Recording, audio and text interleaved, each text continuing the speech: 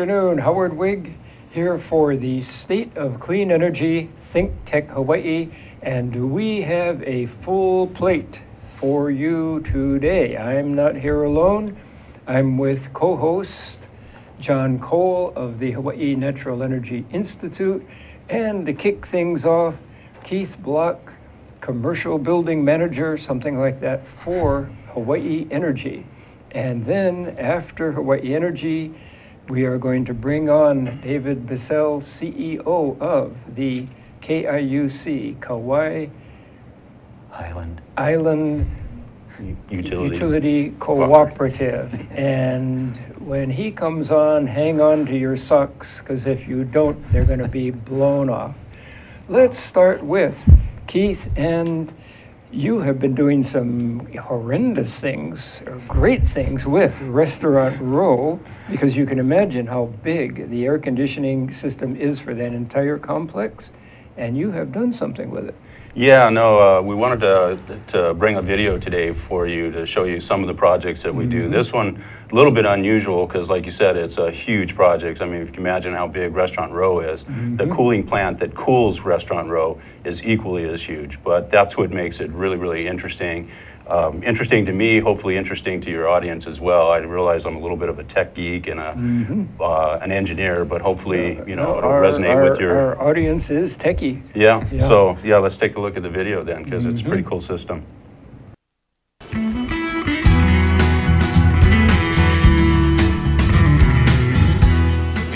New chillers without ever letting the building go down. Um, they've got new equipment, reliable equipment, the ability to meet their diverse load at night. For these guys, it was really number one. It was how how can we save money in our central plant? We're spending too much money on maintenance. We're spending too much money on our utility bills. You know, we have to find a way to save. And that's when we came in and came up with these the new technologies we installed. It has the ability to ramp the systems down, run more equipment, even though it doesn't sound like it's going to be more efficient. But when you run more at a slower speed, they tend to get a little more efficient. And that's really what we're utilizing here is trying to get those efficiencies driving the plant.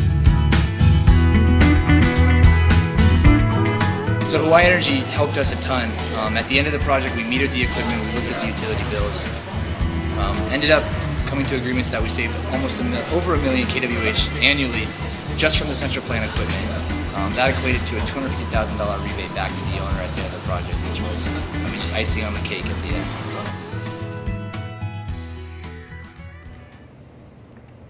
Okay.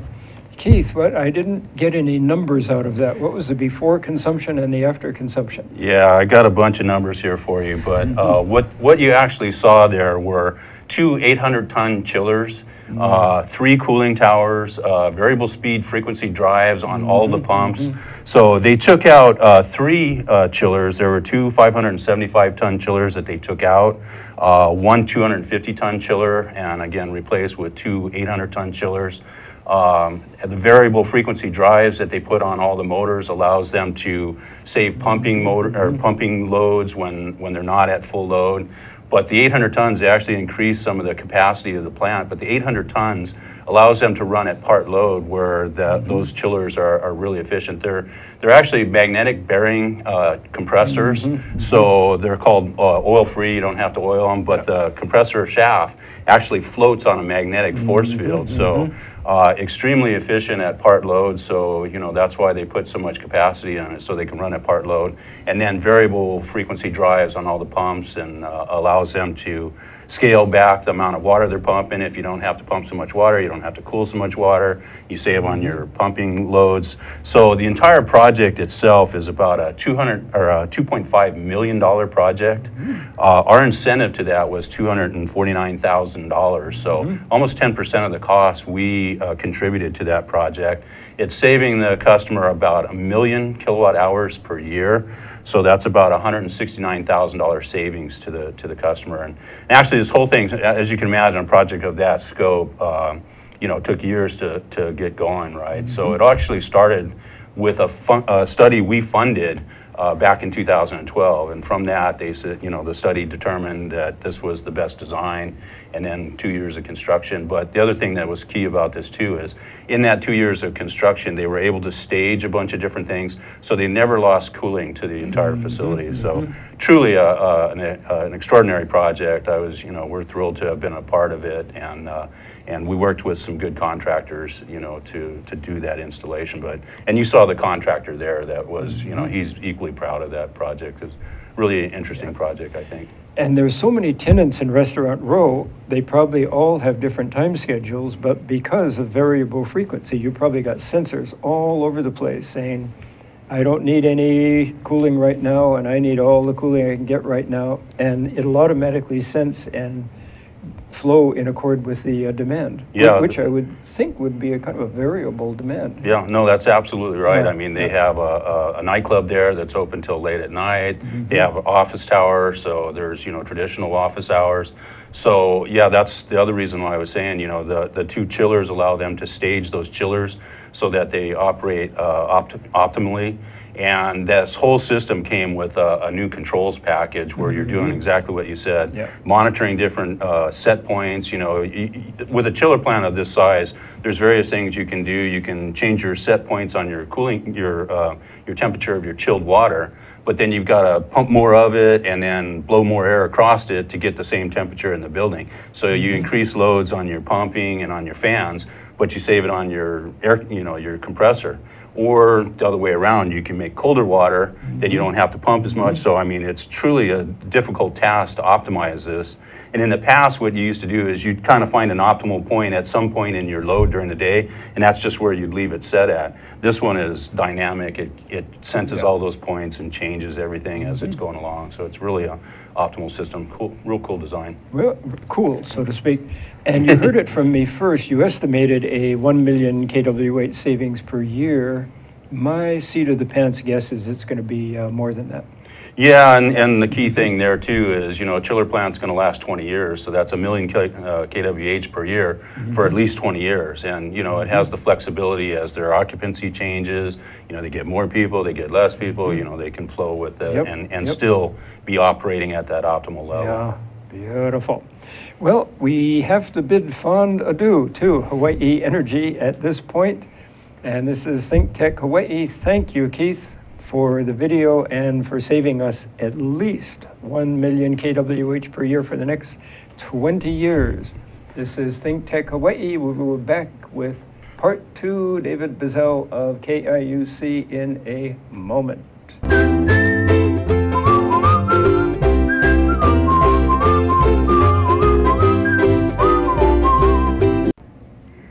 Hi, I'm Stacy Hayashi, and you can catch me on Mondays at 11 on Think Tech Hawaii. Stacy to the rescue. See you then. Hi, I'm Ethan Allen, host of Likeable Science on ThinkTech Hawaii. I hope you'll join me each Friday afternoon and explore the amazing world of science. We bring on interesting guests, scientists from all walks of life, from all walks of science, to talk about the work they do, why they do it, and moreover, why it's interesting to you. What the science really means to your life, its impacts on you, how it's shaping the world around you, and why you should care about it. I do hope you'll join me every Friday at 2 p.m. for Likeable Science. You're watching ThinkTech Hawaii, Hawaii's leading digital media platform for civic engagement, raising public awareness on tech, energy, diversification, and globalism. Great content for Hawaii from ThinkTech. Hey, Stan the Energy Man here. I know you're bored this summer. You're just sitting at home, figuring out what to do, go to the beach. Spend some time with Think Tech Hawaii. Spend the time thinking about how you can contribute to Hawaii and making it a better place to live. And start watching some of the programs on Think Tech, including Stan the Energy Man, where you'll learn all about everything energy, especially hydrogen and transportation. So we'll see you every Friday at 12 o'clock noon. Stan the Energy Man here on Think Tech Hawaii. Aloha.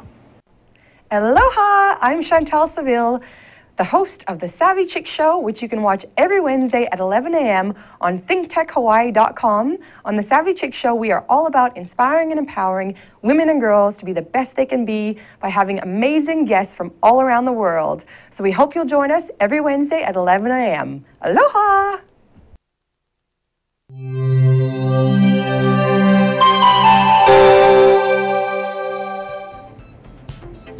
Good afternoon again. Howard Wiig, the State of Clean Energy Think Tech Hawaii.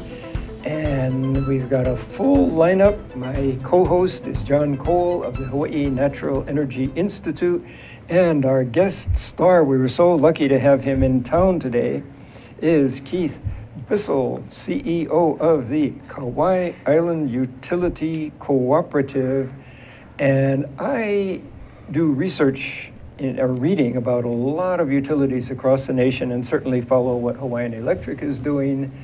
And I think that KIUC, out of the hundreds of utilities nationwide, may be number one in terms of getting close to 100% clean energy generation. As we will see, somehow the phrase small is beautiful comes to mind here. Does uh, Kauai still just have 65,000 people on it, or up to 70 now? Or It's about 70,000. 70,000 people. If you drew a circle with a quarter inch diameter around where we are in downtown Honolulu, you'd probably have 70,000 people. So you've got a certain advantage there, but you've done exceptional, exceptional things. So welcome, David, and why don't we get rolling with the first slide, because we don't have all that much time here. Well, What in the world is this? Thank you, Howard. what this slide is, and I, I'm, I'm not a technical person. I'm a little intimidated up here on a Mm, think tech thing. I, I'm an accountant and a financial person, so pretty easy numbers 40% and 70%. 40% is where KIUC is today on our renewable portfolio standards, and that's up from about 8% six years ago. So we're really pleased on Kauai that we've met the state uh, 2030 renewable target already. And the 70% is kind of our next goal on Kauai. We've been in strategic planning as a co-op. We've been holding community meetings over the last couple weeks on multiple locations on the island of Kauai. And I'm pretty confident that our board's going to come out and say 70% is the new target on Kauai by 2030. So we'll should stay 10 years ahead of the state mandates, and we're making great progress on doing it with an awful lot of solar, solar, uh, biomass. We've got legacy hydro, trying to do new hydro on Kauai, and really doing some innovative, first in the industry type of things with battery storage. And we've broke. There's been ground broken on the SolarCity Tesla renewable uh, PV project with storage, so it'll be dispatchable solar, first large uh, dispatchable solar project done in the industry. We'll be taking 52 megawatts of uh, energy generated during the day. It'll be a 13 megawatt uh, PV field, running it into a battery and bringing it out at nighttime during our uh, peak, uh, most expensive uh, part of our uh, dispatch profile. Wow. Did I tell everybody to hang on to their socks? I mean, I read about other utilities. This is way, way, way above what we're used to. Other utilities are struggling even to get to first base on, in this area. Well, in, in Kauai, we have a lot of advantages compared to Oahu in particular. We've got a lot of land, underutilized land. So we can do big solar projects. We can do a lot of big solar projects without eating up the, the land and really having a visible um, footprint mm-hmm, problem on there mm-hmm. because we've got so much, we got tens of thousands of acres of land available. So even if we did a thousand acres under PV, it's not going to be taking up a, a huge amount of the island. But the mm-hmm. problem we have is the, the uh, lack of available load during the day. We've, we've already put in 30 megawatts of utility scale solar on Kauai. And keep in mind that our daytime load is in the 50 to 60 megawatt level. We've got uh, 6.7 megawatt biomass plant, and we also have five or five to eight megawatts, say, of uh, any time of the day uh, hydro energy. So very little uh, available load during the daylight periods. We've maxed that out, so the next frontier is moving at the nighttime. Uh, amazing, amazing. Why, why don't we look at the uh, next slide? And John, John, why don't you take over from here? Oh, I'll let David do the slide, but first I wanted to congratulate him. He recently got uh, a Energy Yes. Transformational Award. Mhm, mhm. Um, It was um, given by the Hawaii Energy Policy Forum and presented by the governor last um, month. And it's for a lot of the things that David's talking about, uh, the, the quick move toward renewable energy, some of the high penetrations they've been hitting and how their system has been able to handle it, and just how they've been moving forward at a marching pace, whereas it seems Oahu has gone quite a ways, and, and the rest of the Mm-hmm. islands under the HECO companies, but KIUC has really been leading the way. and Yeah, That was yeah. part of the award. Mm. So congratulations on that, David. Well, thank you, thank you, John. I just want to be clear, it's not my award, it's KIUC's award. And it, it really does belong to our engineer and mm-hmm. operations people on Kauai because they're the ones that are pushing the envelope technically to make this happen. If you talked at a mainland grid, any of the operators out there, they would say this is absolutely impossible what's being done mm-hmm. on mm-hmm. Kauai. So my job is really to say, yeah, it makes sense, let's do it, let's figure out how to make the money or obtain the money to uh, make the project happen or to sign the deals, but it would not happen without the engineers. We've got great engineers on Kauai at KIUC and our operators that, that are actually making this And- happen. And you said you're an accountant, so you're the numbers guy. You just let them do the real work there. Yeah, and we're, we're kind of interesting from an accounting versus uh, operations and engineering thing because what I say is, can we do it? Why not do it? And what we're really fortunate is my engineers on Kauai have a culture of saying, why not? Let, let's try this. Uh, Make it happen. We'll figure a way to make these uh, industry leading uh, projects go forward. They don't have, they could be saying, no, no, no, no, we absolutely Yep, can't do yep. it. And nothing would get done. So I, I really want to give those guys credit. Well, let- let's take a look at the no smoking uh, slide here, and that, now you got some specific numbers coming down here. Yes, we've hit a really remarkable 97% renewable at times. On February 10th on this slide, uh, 97%, 77% of that coming from solar. Uh, On Kauai, we have really two legacy power plants. Our Port Allen plant, which is shown in this picture, which is a lot of uh, uh, small diesel units. And then we have a Kapaia plant closer to Lihue. And every day now, when it's sunny, we're shutting down the entire Port Allen plant for hours at a time. And that, that's the, that was the legacy, that's what KIUC and Kauai Electric before us was founded. That was the predominant power plant for the island of Kauai 15, 20 years ago. Yeah. And now it's shutting down every day. And clear days, 80 to 90% renewable. We couldn't do it without having those, having uh, the batteries we've been putting in place. We have about 10 megawatts of utility scale batteries that KIUC owns. Uh, Six and a half megawatts of that is lithium ion ones that are at our uh, Anahola solar plant. And those, those batteries are every day going off hundreds of times to help us with frequency control and to keep our grid stable with all the renewables, in particular intermittent renewables, and solar that go up and down all, all, every time the uh, cloud comes around. So a lot of uh, technology in play. Yeah, yeah, ju- just that one slide is, we, we, we could spend hours del- delving into every one of those, but it's, it's all, all exceptional. Why don't we go to the next slide, because we're, we gotta move quickly here. This is a mind-blowing slide, at least to us uh, te- techie types. Yeah, it, it really is. And what this is, this is a KIUC dispatch from a, it's not necessarily a typical day, but it's not an atypical day, March 4th, 2016. And it's showing starting at midnight, going forward till midnight the next, the next evening, our load profile. And you hear a lot about the uh, duck curve in California and a little bit here. I don't even I don't even know how to characterize this curve because during the midday hours and, and when the sun's out, we have just a remarkable amount of, of solar energy. The, the greenish or greenish color at the bottom is the biomass plant that's just producing stable about 10% of our use, and below that is the blue is hydro, and above that is the yellow solar. And in prime sunlight from between 11 to 2, you, you can see on there, the remaining piece I didn't talk about is our fossil fuel, the black piece there.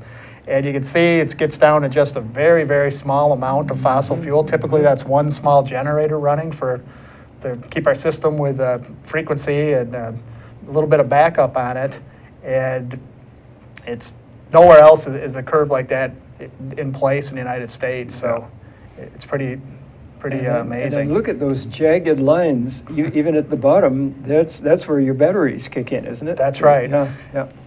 And if you're really looking at those jagged lines, I think that's a 15 minute chart on a, on a second by second. It would be up and down, you know, hundreds of times. It Mm-hmm. can go that fast. And it's not unusual to see some of our big plants go from 12 megawatts down to two or three in a matter of a minute or so as Mm-hmm. a cloud comes over. Yeah, and the Kauai is pretty gosh darn cloudy too, so, yeah. Cloudy and, and frequent winds. It's the, Mhm. it's the cloudy days with wind coming by quick that really impacts the system. If it's just cloudy, it's not problematic because it kind of keeps stable, but when you have fast-moving clouds that we get on Kauai, that's, uh, that's what's the challenge from the technical side. Yeah, again, we, we could spend hours on that slide, but. Can we go back to that? I just have one question I okay. wanted to Can talk we go to back to David that, about. uh, So yeah. the black areas that right now are the um, oil or diesel generation, to go all the way, those are going to have to be filled in by renewables. So, That's correct. I mean, do you envision more biomass, batteries, some kind of mix, or? That, that's a perfect segue. If we move forward to the next slide, that talks about what we're looking at on Kauai. And we don't, it's, on Kauai, we don't have a huge amount of options with today's technology. This is, this slide shows really the conventional biomass, or conventional renewable opportunities in Hawaii. And we've done one biomass project, but we just don't have the scale to do more on Kauai, so the cost would be prohibitive. Uh, biofuel really throughout the state now and throughout the industry is, the pricing's not there. The pricing is typically cost of uh, diesel or oil plus. Um, waste energy, we're too small on Kauai. It's clearly possible over here and working on Oahu, but we don't have the scale on Kauai. Geothermal, we have no, we're, we don't have that there. We don't have the, um, um, the, the thermal uh, activity that we do on uh, the Big Island in Maui. And tidal wave and ocean isn't commercially available. There, you know, there's some really uh, cutting edge uh, technology and research being done in Hawaii, but it's not commercial right now. And wind, where wind is also uh, very widely deployed on Maui and the Big Island and over here on Oahu. But with our endangered species on Kauai and small scale, wind's essentially off the table. So that leaves us hydro and solar. And that, that was well illustrated in the previous slide there. And speaking of slides, we'd better move along to, to the next uh, slide. This is a cutting edge, our draft strategic plan on Kauai that we've been working on. Again, Kauai is a cooperative, a little bit different than on the other islands that are investor owned. So we've got an elected board, and the elected board is works with our members. Everybody that's um, takes electricity on Kauai is a member of our cooperative, and they elect the board and. The board then sets the draft, sets the strategic plan, and we, they've recently updated the strategic plan with a draft that we've been out meeting with the community. And I talked earlier about the 70% renewable, and the, the se- second item under there from a financial side is important. We could go to 100% renewable in a couple of years. We could double down, quadruple down on the PV and batteries, but there's technology risks on that. Uh, you don't want to put too much, too many eggs in one basket. If the prices of of batteries drop radically. We don't want to lock in uh, 2016, 2017 pricing if it's going to be a third less or half less down the road. So we're, we really are looking towards technology risk as a big part of our, our timeline. We want to ladder in our renewables on Kauai, um, similar to what's being done on, done by, on debt with most uh, enterprises, because you don't want too much at any one time. So we're doing that. Um, we continue to have cost control as a focus on, on our island. We're cooperative. Uh, we don't want to spend money. We don't want to have to raise rates. So we're really trying to watch our, uh, our expenditures carefully. And then we're moving to rate design. Rate design's huge on Kauai, huge throughout Hawaii and really throughout the industry. And we're concerned about rate fairness between uh, member classes with right now with we've got 1950s rates and they just wasn't weren't set up to have uh, on Kauai we have 12% of our membership has uh, rooftop and distributed solar. Mm-hmm, mm-hmm. And we don't want that to be uh, subsidizing the ones that have it subsidized being subsidized by those who don't. So we've got to look at our rates. We want to get more fixed cost which really reflect the way the grid operates. The mm-hmm. grid the cost of operating the grid doesn't go down or change. If all three of us are the grid and we each have two of you have PV on your roof, the grid costs aren't going down. It's just would all be funneled over to me, and we don't think that's fair and want to work hard on that. So that, that those are really big pressure points on Kauai that we have to get. We have to get straight to uh, help us move forward and be in a position to be the best utility we can. And I'm, I'm gathering that built into this is possibly time of use pricing? Yes, we are, we have a, a small time of use pilot program on mm-hmm. with about 300 members. And we tried to keep it simple because we, we really wanted to just assess whether we could change behavior. So what we came up with was for four or five hours in midday, we're offering a 25% discount to our retail rates. And it's early, it, it went into effect Valentine's Day. Our, our first report showed people are shifting uh, some of their usage into that time, but there's kind of a other outcome and we didn't anticipate, but their usage is going up throughout their whole time frame. So they're moving more into the cheaper period, but they're also using more throughout the entire period. So Yeah, we'll see if that holds holds uh, fast going forward. We do believe, and it makes total sense, that PV pricing is gets cheaper and cheaper, and to the extent the cheapest way outside of uh, efficiency to bring improvements and improve the quality of life is to move more of the use into that lowest cost generation period. And we we believe we're going to have pretty aggressive rates during that time frame, probably much more than a 25% discount, but maybe down to eight, 10 cents a kilowatt hour for a four, yeah, per, yeah, four hour yeah. period. And we could spend a lot of time on this, but we are running out of time, and I believe we've got another slide. Yep. This is uh, just a little bit of kind of Kauai uh, specific items. Uh, we want, of course, every company needs to maintain a prudent financial structure. Big one for us is we're now really looking at should we be regulated by the PUC? Uh, when we were formed in 2002, we had a commitment. We made a commitment to the PUC that we would stay regulated for five years. Uh, it's now well past that. It's been 14 years, and our board is increasingly starting to question whether we need that. We've kind of grown up. Uh, co-ops are in 47 states, and only 12 of them have any. 12 states have any form of regulation. So we're definitely on the very high end of regulation for a co-op. We don't, you know, as a member elected board, there's nobody, we don't need a watchdog to say, take care of our membership because if, if the public is not mm-hmm. happy with what's mm-hmm. happening, they're going to vote in a new board. Yeah. So we spend a lot of money on that, a lot of time. They're good people at the PUC. John knows, as a former commissioner. And they, they really do a good job, but they've got mm-hmm. limited resources, and, and we're starting to believe more and more of those resources are and should be focused on the investor-owned utility and not on the cooperative. So we look at that, that's not going to be an overnight movement, but it, it's definitely a, a direction that the board is interested in pursuing. Wow. Not bad for a uh, small island. We're just about to wrap up. Uh, John, any parting question? No, thank you, David. Nope. I did, Wow. very interesting, and I'm really impressed by the, the work KIUC is doing and moving forward toward the RPS so quickly. Mm-hmm. Yeah, and I, my guess would be the PUC says, just, we'll keep our hands off. You just keep doing what you're doing and let the rest of the, not the rest of the state, but the rest of the nation see what in the world you're doing and see what they, they can emulate here. Well, thanks both of you. Uh, We've got a good group on Kauai, good management team, good board, and good engaged community. So we're firing on all cylinders and hope, and hope to continue. Wow. Well, on that cheery, very cheery note from us techie, clean energy type people, we need to sign off. Howard Wiig, Think Tech Hawaii, with John Cole of HNEI and our honored guest, David Bissell, CEO of KIUC. See you later.